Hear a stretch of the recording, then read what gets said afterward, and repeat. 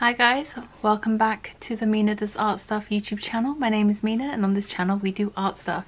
So this is the follow-up video to the previous one you'll have seen. So this is going to be the swatching video to go with the haul video I just posted. Um, first up, I'm going to be using my Strathmore Visual Journal mixed media paper pad to swatch out the pens and things that I got in this um, in the haul. So I'm not going to um, sit here and write out all the different colour names and stuff, but I will go through them as we swatch these out. So first up we have the Zebra uh, Mildliner Creative Marker double-ended soft mild colour water resistant colours. So I'm just going to take these out quickly. They're double-ended, but I, so we'll see what that's like. And these are going to be kind of like a softer, less harsh version of a highlighter, I guess. Um, and they're really popular with like in bullet journaling and stuff like that from what I've seen.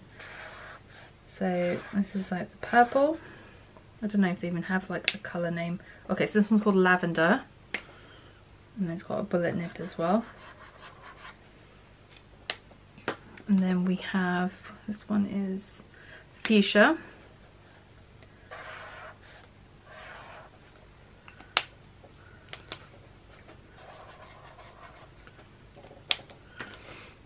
And then we have Marigold.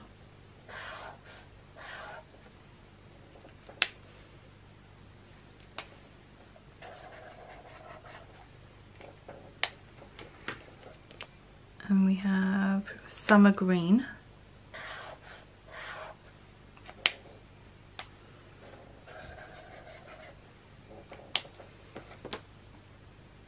Citrus Green.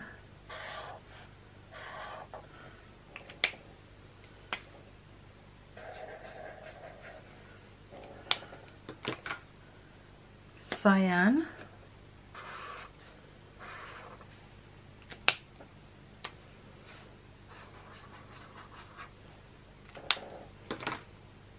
Lemon yellow.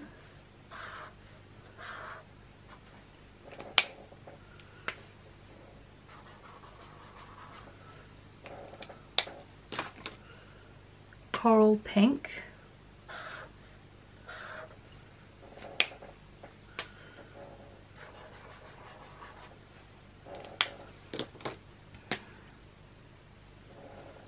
apricot.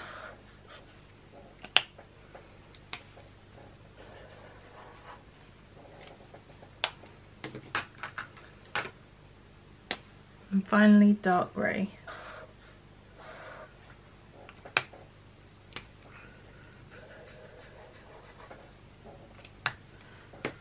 So that's the Mildliners. It's really nice colours.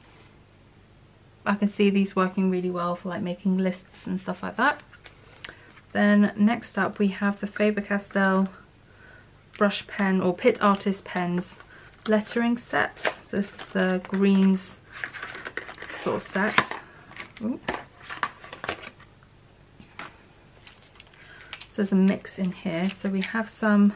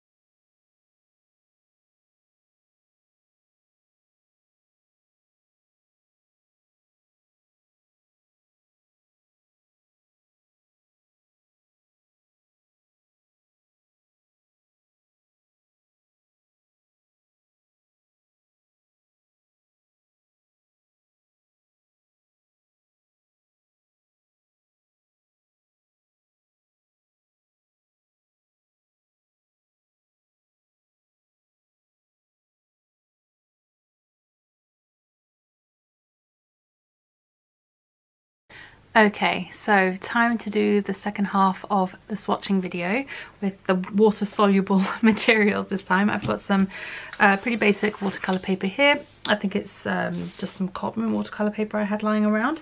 And um, yeah, so we're gonna jump straight into it. I think what I'm gonna do is I'm gonna set this first section to music and just go through the swatching process and then at the end I'll come back and talk through the different the different materials and things that we're look uh, that we're going to be looking at today. And um, let you know my thoughts about any of the different like colors paints etc um, so yeah hope you enjoy listening to some music whilst watching the swatching process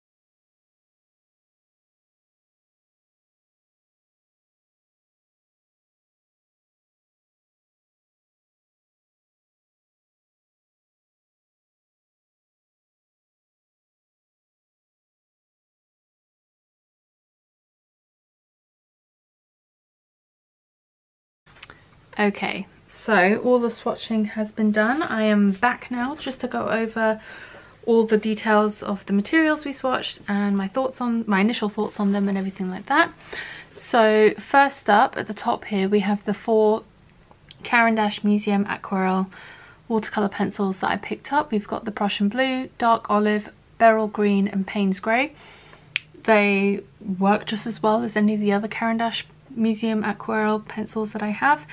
They are they go down nice and pigmented. They this paper is fairly textured um, for pencils, but they went down well. They reactivated well, and as you can see, wherever I have wet the pigment, wet the pencils, like all of the pencil marks has have dissolved under the water. So it's really nice and smooth finish.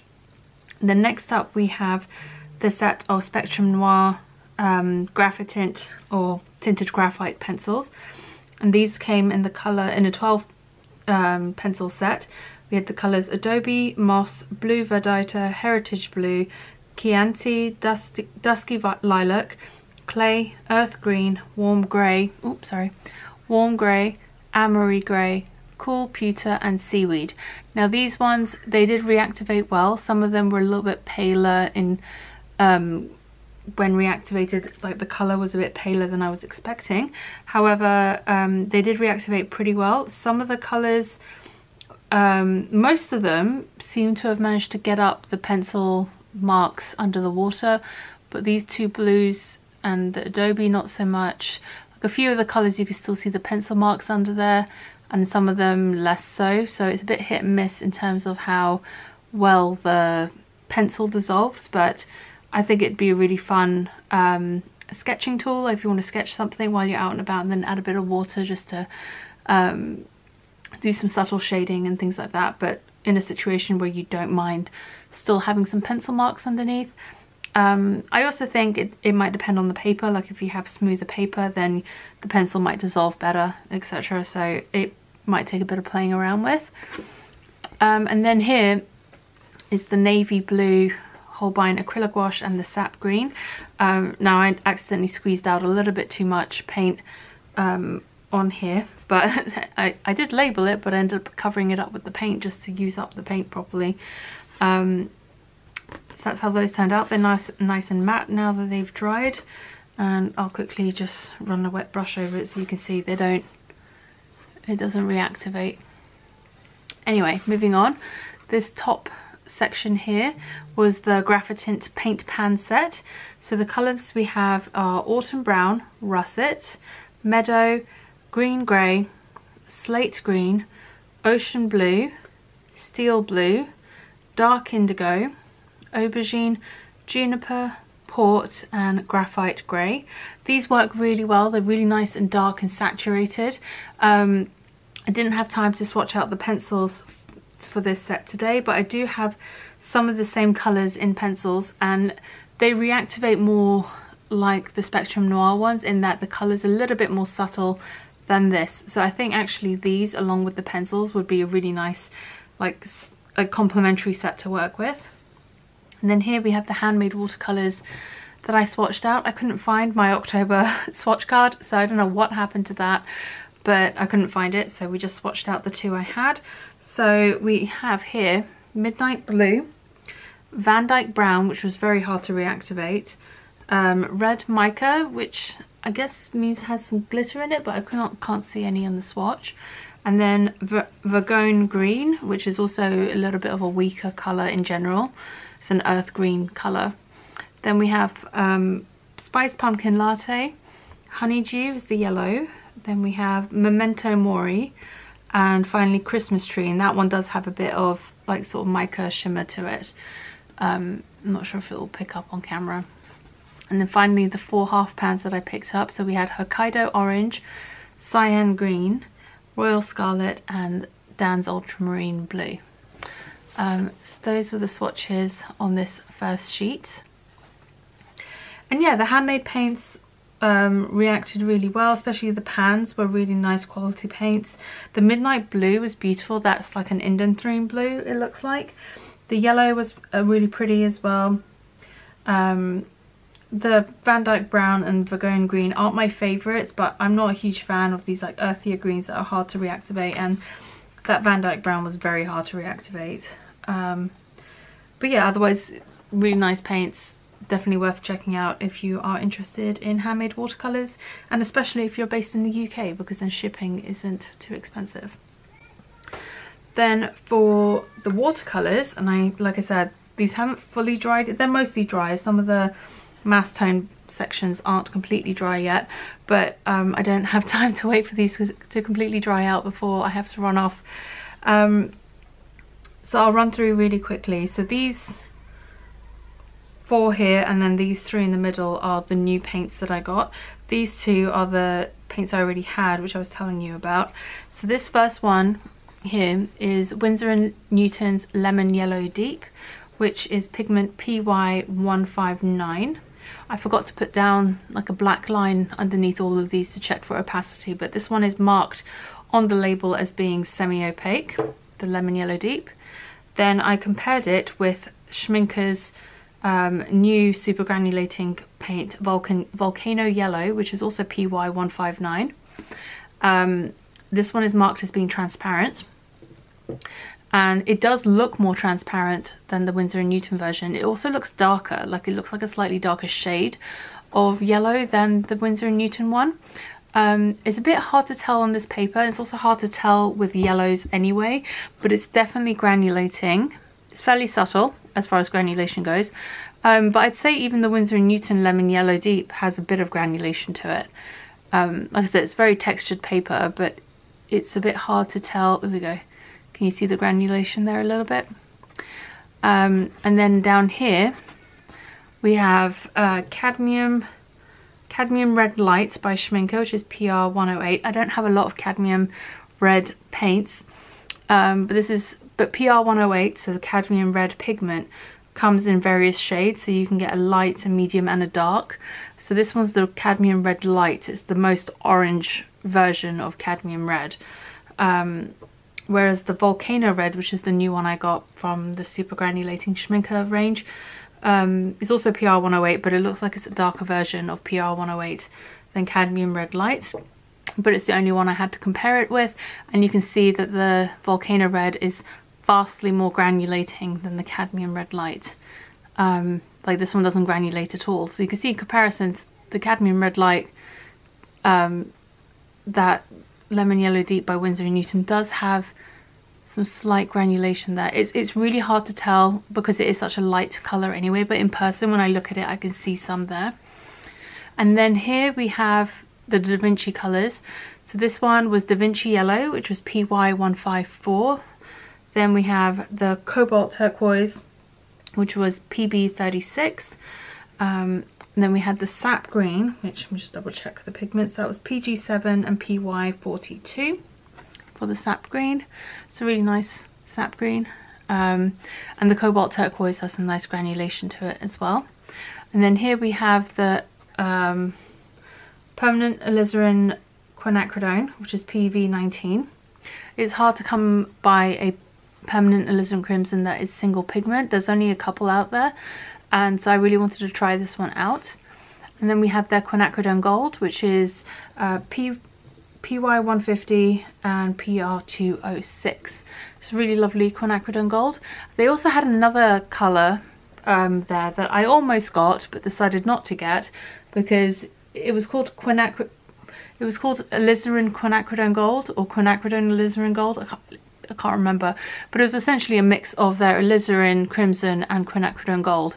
And that was the colour. So I just, um, you'll have seen in the video that I just mixed these two together to swatch out what would have been alizarin gold or very close to their alizarin gold had I bought that tube and I was like well I'm buying these two so I don't need to buy that one because um, it's easy to mix and if I ever pour this out into like these tubes into a palette and I want an alizarin gold I can just mix the paints in the palette or in a pan or in a well on a palette and have it pre-mixed ready to go if I wanted to do that um, so those are the paints that I swatched today um, definitely loving this Volcano Red. I think that's really beautiful, really lovely um, granulating red. And I like this yellow. I not a huge fan of the Lemon Yellow Deep by Winsor & Newton because it is a bit opaque and it has, it's not, it doesn't have like white in it. It's not actually chalky, but it has that chalky look to it compared to the Volcano Yellow, which is, first of all, I like this shade better than that one and I also like that it's more transparent than that one. There again, it's hard to tell on camera without having a line underneath to check to show the opacity, but in person looking at it, you can definitely see those differences in real life, as it were. Um, so yeah, that's that's my opinion on those. I'm really happy with the Da Vinci colours I picked up. I love all of them. Um, there were definitely more I could have picked and I could have got and maybe next time when I go back to the US I might pick up a few more but um, I really don't need any more paint as I mentioned before like I have more than enough paint now to last me a long time but I really wanted to try out the brand and so I picked up a few in my favorite colors so I know I will use them and wanted to like see how see how they were and I might do some comparisons with other variations um, in the future. I'm thinking of starting a new series on this channel at some point comparing like different types of sap green or different types of quinacridone gold, different types of alizarin crimson. Not in like, I know that um, Otto Kano, Dr. Otto Kano here on YouTube has done what she calls her colossal color showdown where she does like really in-depth and detailed like comparisons of on different um, colors of the same name like quinacridone gold or cobalt turquoise or whatever um, so it won't be I'm not replicating what she did that's not what I'm planning on doing it's more of just a higher level overview of the different colors just to see the differences in the shades available um, you know like a sap green can look very different depending on what brand you're looking at because it's typically a mix of pigments as well. So it'd be interesting to see what the different variations are and um, same with the alizarin crimson and some of the quinacridone golds. Um, more so the ones which are multi-pigmented colours. It's interesting to see what the different variations are available out there. So I thought that might be a fun series to start at some point as well this year. Anyway, that's it for today. Thank you so much for joining me. I hope you enjoyed this little swatching video and um, I will see you guys in the next one. Take care and I'll see you soon. Bye!